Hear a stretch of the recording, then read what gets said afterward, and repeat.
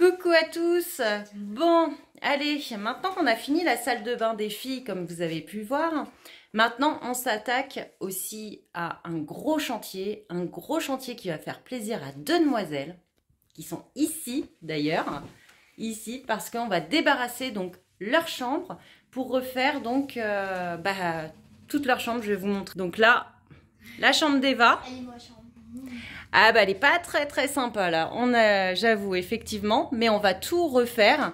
Donc on doit tout d'abord débarrasser tout son bazar. Et elle a déjà commencé à vider un peu son armoire. Et donc là aussi. Et on va également vider aussi tout ce bazar Alena et Théa. Et en même temps, effectivement, on va faire un sacré tri. C'est le moment d'en faire un. Donc il y a, y a du taf. Et par la même occasion, donc, faire également le petit palier que vous avez vu ici. Parce qu'on refait les chambres, on va tout refaire euh, d'un coup. Le palier et le toilette qui se trouve ici. Et donc les filles, elles vont vivre en communauté avec les garçons dans la chambre des garçons. On a refait la, la chambre des garçons, les garçons ont vécu avec les filles. Et donc là maintenant, c'est aux filles à leur tour de vivre avec les garçons. Donc on va en mettre une de Wyatt. On ne sait pas encore laquelle. voilà. Et on va en mettre une également dans la chambre des Noah. Donc on va, on va voir. Pour le moment, donc là, ça trie les vêtements. Vous savez ce que c'est, hein, des filles. Là, un sacré, sacré, euh, sacré boulot pour ce week-end qui, qui, nous attend. Donc allez, go, go, go les filles. On y va, vous êtes prêtes? Oui, c'est hein? très long. Oui, mais il faut le faire. Il faut le faire. Déjà. Allez.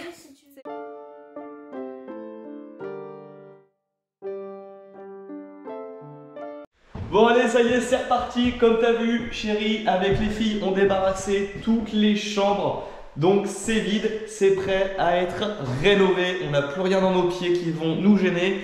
On va pouvoir casser et refaire sans aucun problème. Il va y avoir aujourd'hui et demain avec Valentin, on va casser tout ce qu'il y a à casser. Cette pièce-là a été la seule pièce de la maison qui a été rénovée par les anciens propriétaires.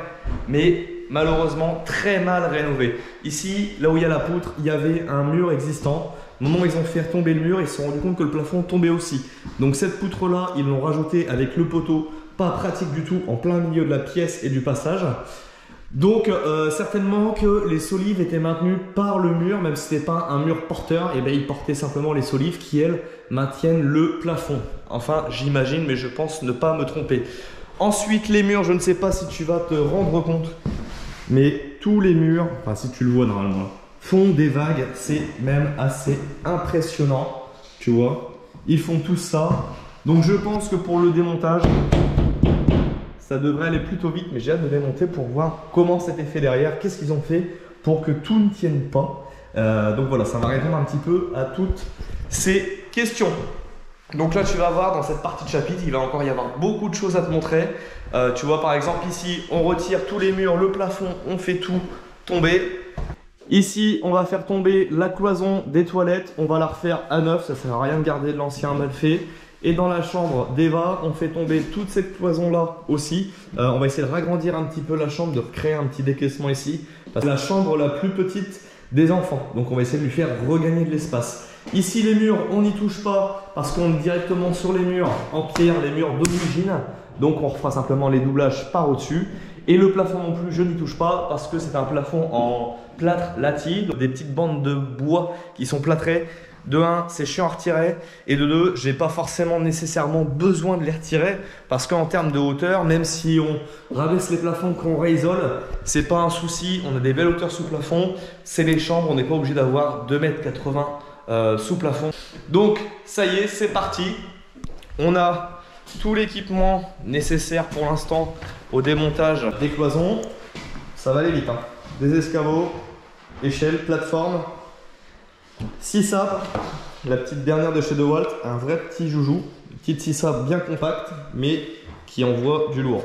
Donc ça, les lames, batterie. Et puis, euh, écoute, après, forcément, les EPI, les gants, les... Alors, c'est pas des gants. les gants, le casque anti-bruit, les lunettes, Euh, et le masque, parce qu'on ne sait pas encore ce qu'on va avoir derrière, mais si c'est comme la salle de bain, je pense qu'on va s'éclater avec le plafond. On va aller prendre une douche à deux, ça ira plus vite. Donc euh, c'est parti, on se lance là-dessus. Démontage de tout ce qu'il y a à démonter.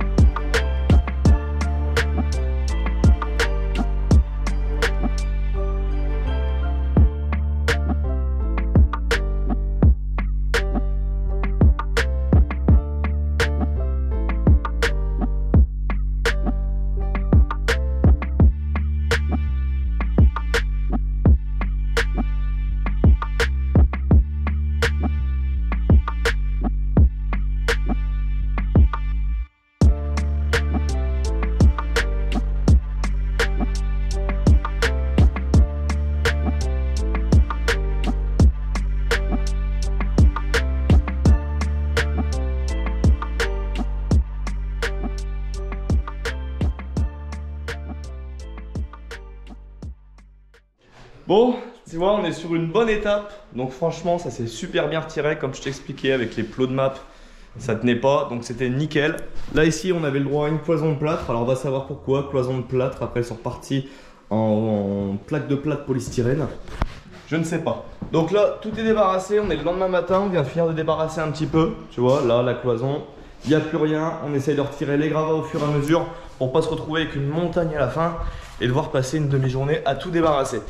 Donc, forcément, on a eu une petite surprise. Ça va être là, tu vois. On voit que là, les chevrons, eh ben, ils sont complètement euh, bouffés ici. Donc, il va falloir que je vois ce que je vais faire pour euh, reconsolider tout ça. Parce qu'en fait, on a un, deux, trois chevrons qui sont à moitié dans le vide. Euh, ensuite, chose ultra étonnante et complètement dingue. En fin de compte, c'est pas une poutre complète. Ça, c'est un habillage en polystyrène et au final ils ont simplement mis un chevron pour tenir euh, en fait toutes les solives qui sont là et qui tiennent le plafond. C'est maintenu par un chevron. Alors franchement je trouve ça incroyable. Ils ont mis un poteau énorme. Là on est sur du vrai bois pour tenir un chevron. Et du coup comme ils ont mis un, poteau surdimensionné et ben ils ont fait un rhabillage en polystyrène. Alors on va dire que c'est quand même bien fait hein, parce que ça on le verrait pas euh, on l'aurait jamais imaginé. Mais euh, donc voilà, donc là une bonne étape de fête. Il reste 2-3 bricoles sur ce mur là. Et maintenant ben, on va faire tomber le plafond. Donc ce plafond là il est maintenu par des solives qui vont dans ce sens là. Ici si tu te rappelles bien, là c'est la salle de bain. Je les avais coupés derrière un rat. Donc là on va faire tomber là, ici aussi. Et euh, ici je pense que c'est des solives ou des chevrons, tu vois, qui ont été refixés sur la charpente directement et qui vont dans ce sens là. Donc ben là, le but, ça va être de faire des grands bouts de placo et de faire tomber tout ça. Et puis un petit peu après, la laine de verre. Et ça, ça va pas être marrant du tout, je pense. Donc euh, bah écoute, on va se lancer, euh, on va se lancer là-dessus. Euh, on retire le plafond. et puis voilà, ça sera une bonne chose.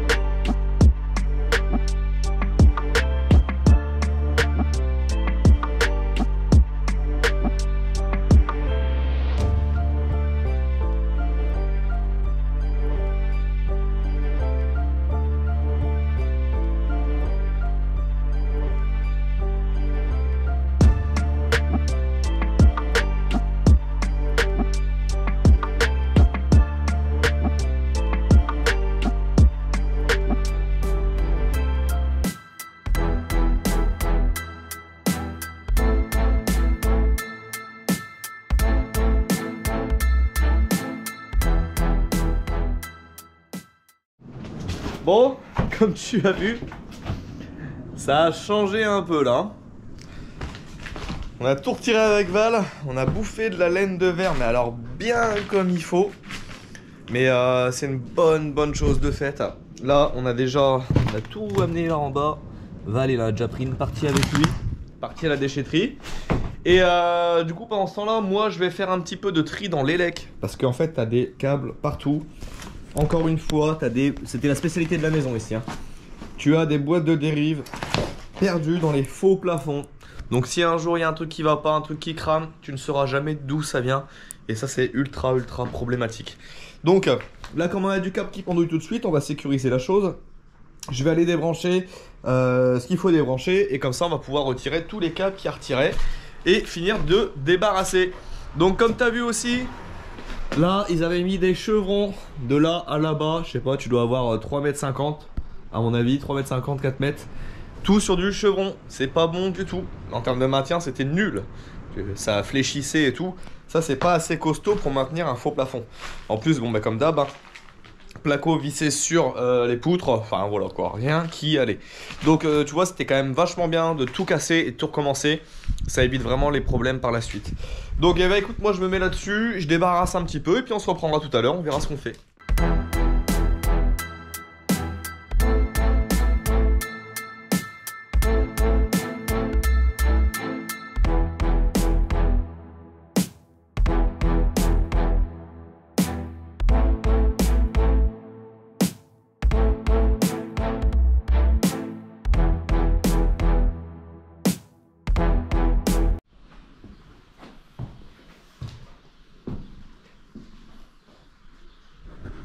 Bon, c'est tout propre, ça y est. J'ai retiré du coup les derniers plots de map qui restaient, les derniers bouts de placo polystyrène, etc. Donc on a enfin un support nickel. Maintenant, dernière étape de démontage, ça va être ce sol en parquet. Donc tu vois, c'est un parquet, euh, hein, un parquet simple euh, et comme ça on reprend vraiment la base euh, du plancher bois existant. Jamais on ne se refixe sur un parquet flottant. Un parquet flottant, ça travaille. Donc ça a besoin d'avoir de la dilatation. Si tu reposes tes cloisons directement dessus, il va pas pouvoir travailler et du coup il va gonfler. Puis le but c'est qu'on ne veut pas le garder.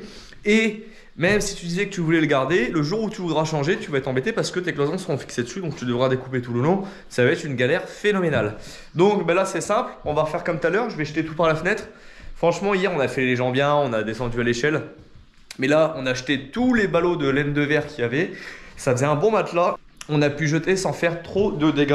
Bon, je t'avoue que je vais te montrer. hein. La cour, elle est pas super propre. Ah, c'est un peu le chantier. Mais c'est pas grave, on fera un petit coup de nettoyage tout à l'heure. Val est reparti faire euh, l'avant-dernier voyage à la déchetterie parce que maintenant, il va falloir jeter euh, tout le sol là. Et pareil, comme forcément euh, on refait les chambres, on change les meubles, on avait gardé encore tous nos meubles de la maison d'avant, mais ils ont fait leur temps. Tu sais, les meubles de maintenant, tu fais deux, ména- deux déménagements avec et c'est fini, ils sont foutus. Donc tu vois, il y a tout le stockage là-bas de meubles. Donc c'est pareil, tout ça acheté.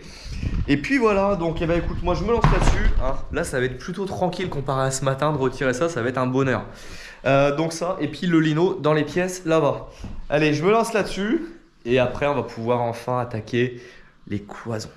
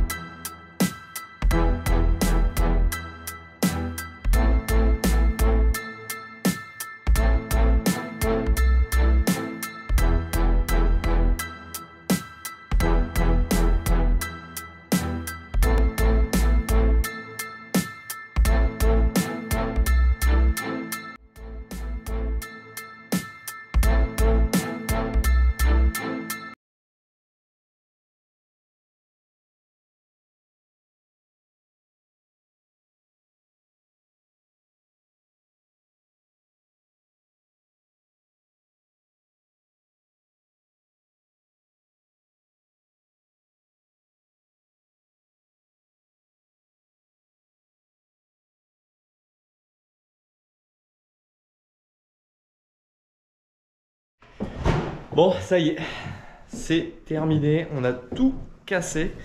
Et du coup, forcément, quand tu casses, tu découvres des choses. Donc, on a eu les boîtes de dérive, on a eu le placo mal collé.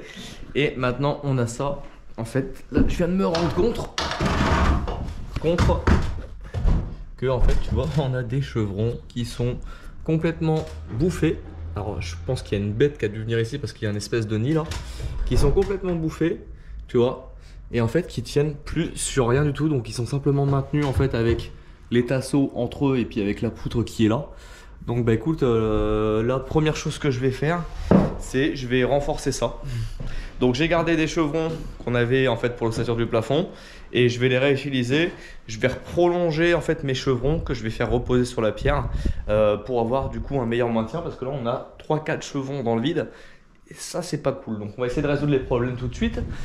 On a aussi là-bas une tuile qui est cassée donc il va falloir que je vois si j'en ai en stock des comme ça, je sais qu'il y a des tuiles en haut, mais je ne sais pas quel modèle c'est. Donc on va essayer d'aller chercher celle de la céramique de l'Est et on va voir si c'est ça. J'espère en avoir.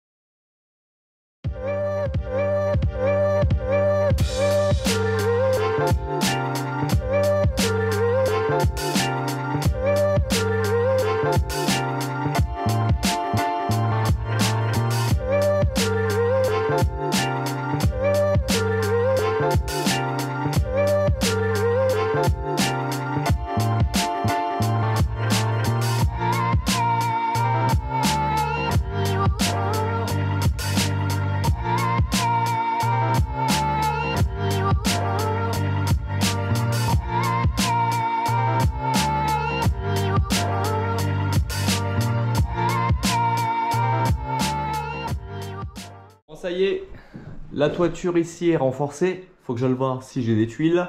Euh, et sinon, je voulais maçonner, sauf que je n'ai plus du tout de mortier. Donc, euh, bah, je vais pas pouvoir le faire là. Il est un peu tard pour aller en rechercher. Donc, j'irai en rechercher dans la semaine. Et je vais pouvoir euh, finir de renforcer toute cette partie-là. Ça sera une bonne chose de fait. Donc voilà, je pense qu'on va s'arrêter là pour ce premier épisode. Tu as déjà vu beaucoup de choses, beaucoup de, enfin beaucoup de choses. La démolition, mais voilà, hein, au moins tu as vu en même temps que moi les surprises qu'on a pu trouver. Est-ce que toi tu pourras aussi trouver chez toi comme type de surprise? Donc au moins on est reparti sur des pièces dégagées, propres, on repart à nu. Allez, c'est comme si on partait dans du neuf avec des, des murs en parpaing, sauf que là c'est en pierre. Et il n'y a plus qu'à tout recommencer. Donc, le prochain épisode, ça va être l'implantation de la pièce et en même temps le faux plafond sous rampant. On va essayer d'utiliser une technique que je n'ai encore jamais vue nulle part pour de la pose sous rampant en faisant un plafond sans ficelle. Parce que généralement, le sous rampant, tu utilises de la ficelle. Et bien là, on va essayer de faire en sorte que euh, on n'utilise pas un seul bout de ficelle. C'est dans la tête, c'est encore en train de prép- c'est encore en pleine préparation. On va voir si c'est réalisable ou non. Sur ce, si ça t'a plu, n'oublie pas, abonne-toi, mets un petit like et n'hésite surtout pas à commenter. euh, ou même si tu as des questions sur le projet ou même euh, une question technique, tu n'hésites pas, tu commentes et je t'y répondrai. Allez, sur ce, je vous dis à la semaine prochaine.